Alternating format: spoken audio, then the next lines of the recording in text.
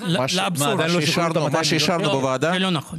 אישרנו שאישרנו בוועדה העברה למשרד הפנים. נכון. זה חונה במשרד הפנים. משרד הפנים רוצה להעביר את זה לרשויות בגלל המצוקה, בגלל שיש יישובים ערבים בנגב עם אה, 17 נרצחים, יש נרצחים גם בצפון, מצב חירום בכל הארץ. סמוטריץ' לא נותן אור ירוק, משרד האוצר, למשרד הפנים כדי לשחרר. משרד הפנים מנסה לשחרר, אבל הם לא רוצים להרגיז את סמוטריץ'. וסמוטריץ' באמצע המלחמה מתעקש לא להעביר את ה-200 מיליון שקל אבל של מבחינת, מענקי... מבחינת הפרוצדורה, ברגע שאישרנו את זה בוועדת הכספים והכסף עבר למשרד הפנים, משרד הפנים לא סוברני להעביר. אז- יש- אז אה, אמרתי היה לך, סיכום בין שר האוצר לשר הפנים נכון. שהכסף לא, לא יועבר בלי שיהיו נהלים. בוא נניח שאני- אני לא שאני מבין, עד הגעתי עכשיו היום. לא עשו נהלים והעבירו את הכסף?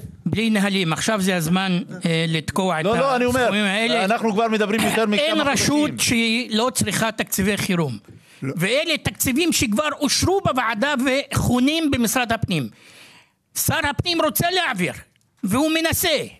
רבים אחרים מנסים לשכנע את משרד האוצר להעביר את ה-200 מיליון שקל לרשויות. ובכל זאת, זה לא יוצא. אגב, אני שמעתי שבגלל שזה נקרא כסף קואליציוני לא מעבירים אותו. אז שיתכבד לא, לא, האוצר- זה לא כסף שנייה. קואליציוני. שיתכבד האוצר ויבדוק את זה, למה? כי יש דברים שמעבירים אותם.